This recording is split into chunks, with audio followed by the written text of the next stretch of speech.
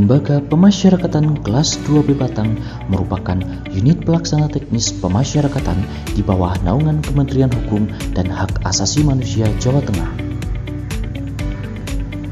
Berdiri sebagai rumah tahanan negara kelas 2B Batang pada tahun 2008 dan resmi naik kelas menjadi lapas kelas 2B Batang pada tahun 2020. Di tahun yang sama, Lapas kelas 2B Batang meraih predikat wilayah bebas dari korupsi dan terus melakukan berbagai inovasi untuk meningkatkan kualitas keamanan dan pelayanan kepada masyarakat. Assalamualaikum warahmatullahi wabarakatuh. Salam pembaharuan.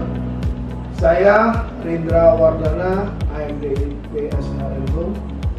selaku Kepala Lembaga Pemasyarakatan kelas 2B Batang dengan ini menyampaikan bahwasanya pembangunan zona integritas di Lapas Batang telah dideklarasikan dan juga kami telah melaksanakan penguatan terhadap seluruh petugas maupun warga binaan yang ada di Lapas kelas 2B Batang.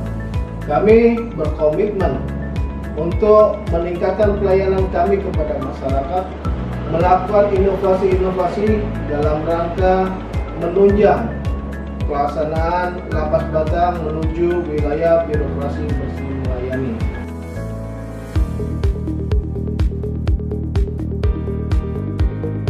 Lapas kelas 2B Batang telah melakukan berbagai inovasi keamanan, pembinaan kepada warga binaan pemasyarakatan, dan pelayanan kepada masyarakat.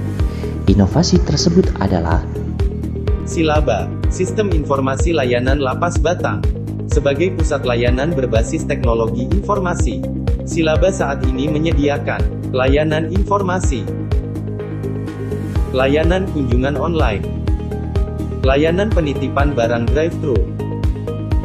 Silaba memudahkan Anda dalam menggunakan layanan di Lapas Batang. Layanan penitipan barang dan berisi menggunakan sistem drive-thru. Layanan ini merupakan bentuk inovasi dan adaptasi pelayanan penitipan barang di era pandemi COVID-19.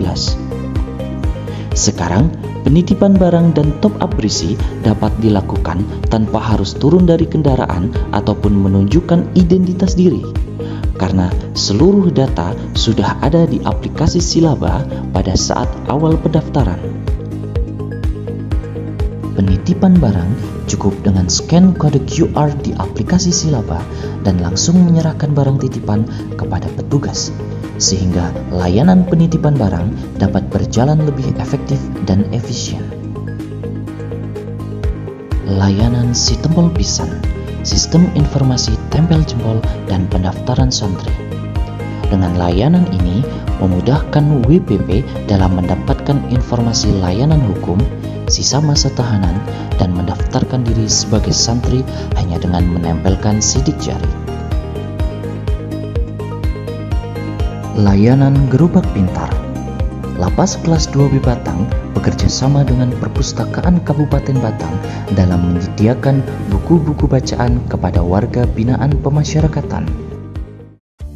Lapas kelas 2B Batang juga memberikan kesempatan kepada WPP untuk menjadi atlet dengan melatih dan membuat wadah berupa pembentukan pabersi tingkat Kabupaten Batang bersama KONI dan Disparpora Kabupaten Batang. Tak hanya itu, lapas kelas 2B Batang juga menggunakan sistem pemberitahuan melalui pengeras suara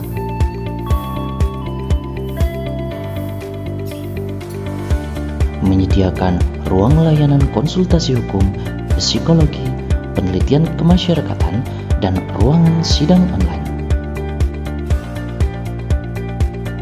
Lembaga Pemasyarakatan Kelas 2 Batang bersih, aman, tertib, anggun. Kami berkomitmen untuk meningkatkan pelayanan kami kepada masyarakat, melakukan inovasi-inovasi dalam rangka menunjang pelaksanaan Lapas Batang menuju wilayah birokrasi bersih melayani. Mohon dukungan dan doa.